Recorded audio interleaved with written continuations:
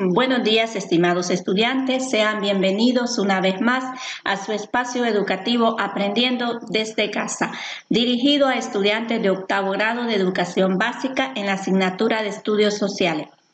Les saluda la profesora Elvira Torres. Hoy martes 29 de septiembre del año 2020 voy a compartir con ustedes un tema muy interesante titulado Problemas ambientales de América. Expectativa de logro, mencionar los problemas ambientales que afectan a la población.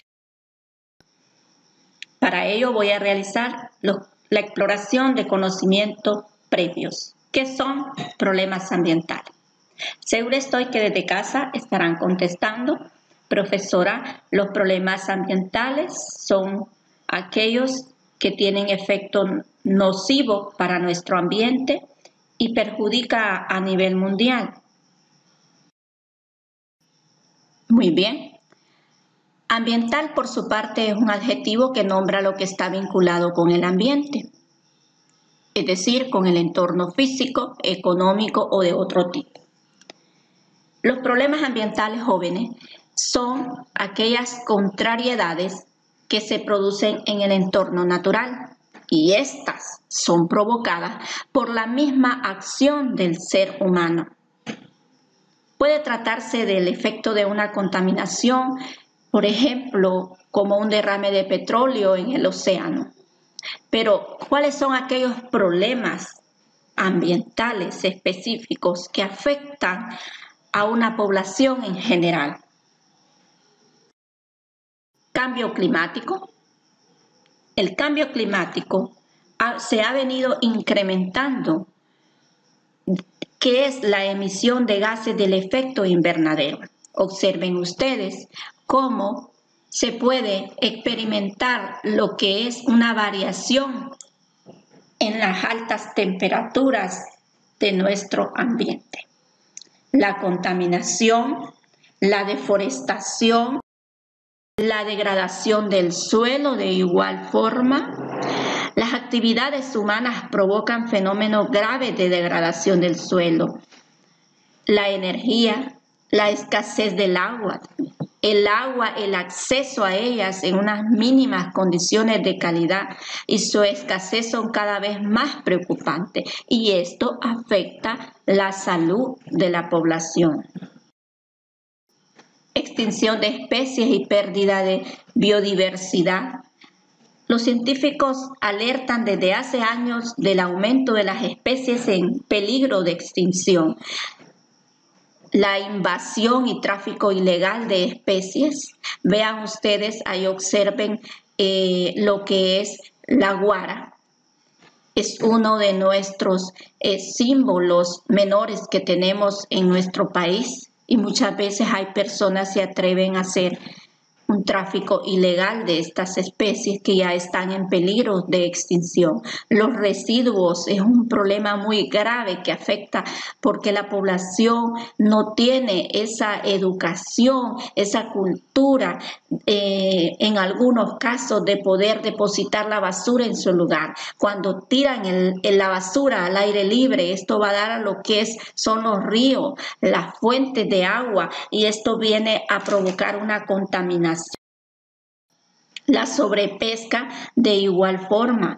Eh, ¿Por qué? Porque el 60% de las especies comerciales más importantes del mundo están sobreexplotadas o es decir, están agotadas eh, en la actualidad.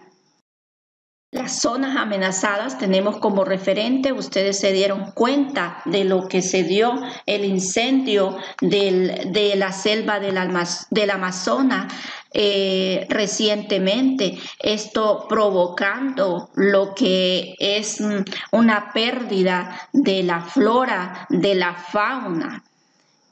A nivel mundial son las amenazas por la contaminación que se dan.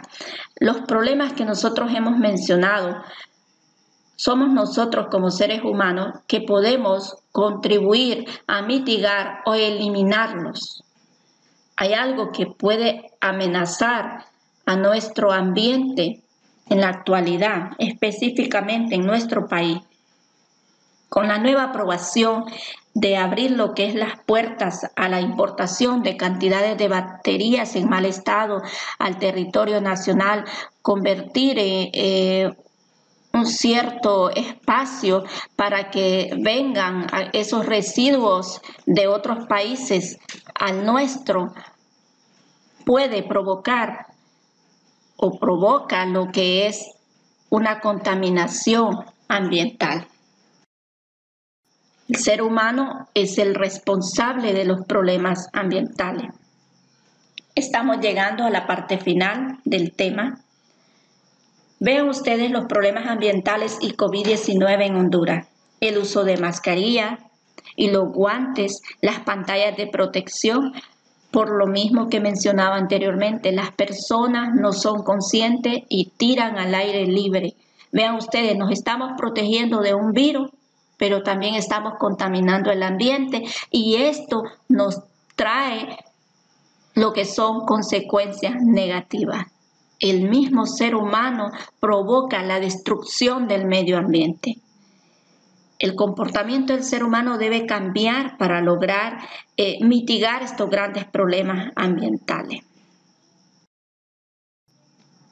Con ayuda de sus padres o encargados, escribir en su libreta 10 acciones que podría hacer para contribuir a mitigar o eliminar los problemas ambientales.